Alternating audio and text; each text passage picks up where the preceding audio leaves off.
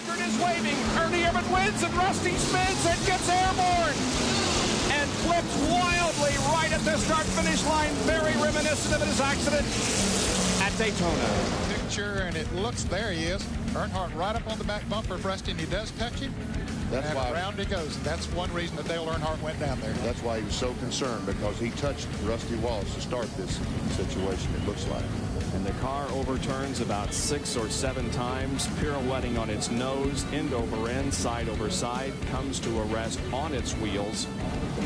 Earnhardt on the inside and Sterling Marlin outside. And Ernie going with uh, Earnhardt down on the inside. That's going to hit. Oh, he touched trouble. Terrible crash. Front of the field all torn up. Earnhardt's car destroyed. A major crash. But you can see Earnhardt is leading. Ernie Irvan trying to pass the four car of Sterling Marlin, touches him, shoots the left front of Marlin's car down into Earnhardt, Earnhardt into the wall, and then since they were at the front of the pack, lots of other cars came along and got involved. He's up. He's up. That's a good sign, boys. He's walking. He's hurt his ribs.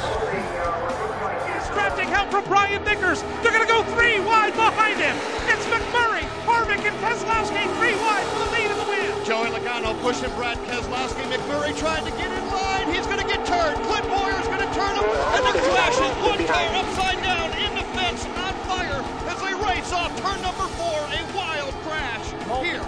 Multi-car crash up in turn number four. A wild, wild crash to this one. It started with Jamie McMurray trying to slam that car down across the nose of Clint Bowyer.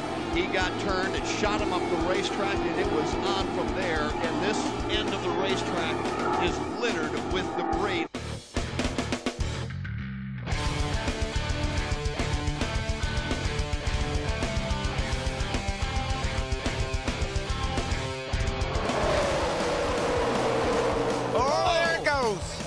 Ben Rhodes collects a bunch of them. Oh, man. The big one at Talladega.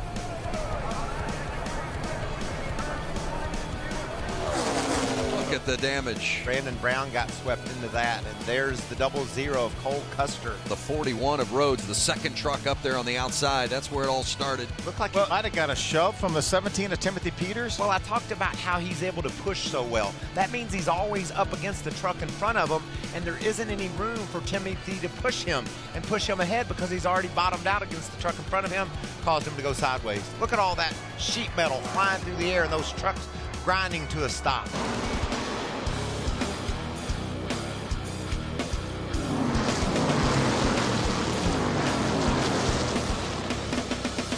And you have to guess which one. Well, that's why he's doing what he's doing.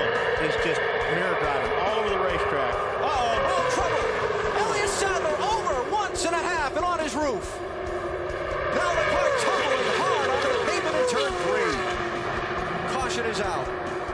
A terrible crash. Okay. The attention already focused on the Elliott Sadler car.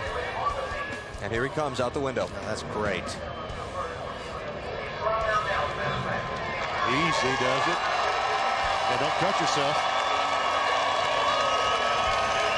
Oh, that's good to see. Guys, he's out. And these guys are Dyson. Go ahead, BP. And there he makes contact. He comes down trying to get in front of Kurt Busch. They make contact. Watch that thing fly.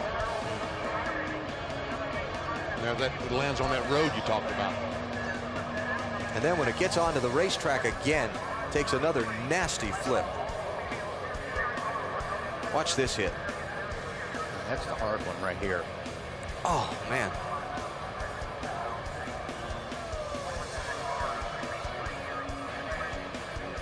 God, they all look pretty hard. Yeah, they do. I don't want to be in there in any of them. Like I said, that car really held up well above the driver. Kyle Busch's hopes reside with Brad Keselowski and his ability to push. Well, he's getting a nice push from him. Oh, oh! trouble! Harvick's around. Oh, got spun on the backside by the 43. How many's it going to collect? hold the brake. Oh, what a vicious crash! Eric McClure.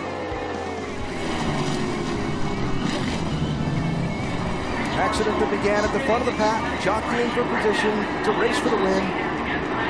Ends with some heavily damaged cars. So the red flag is out in the middle of the first attempt at a green-white checker finish, a multi-car accident. Over in turn number three at the end of the backstretch. But the bulk of the concern remains focused around the Eric McClure car. After the hard, hard crash he took to that inside wall. Can Keselowski try to win it? I don't know. I don't think he can step out until he waits till the last second and picks he up. goes the outside. Is Edwards going? Oh, no!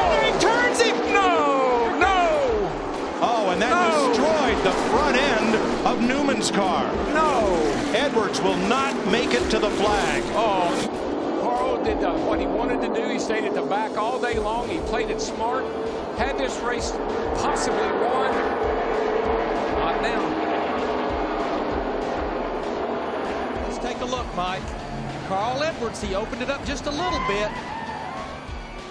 Yeah, I'm not sure. I think uh, this is a hard lick right into the fence. I mean, that car, that wow. looked like Bobby Allison did here in 1987. Carl went up to block him a little bit. Now he's going to come down and try to block him again. And you get one shot at it, but you don't get two. Watch this. What a lick. Oh, my gosh. gosh. Unbelievable.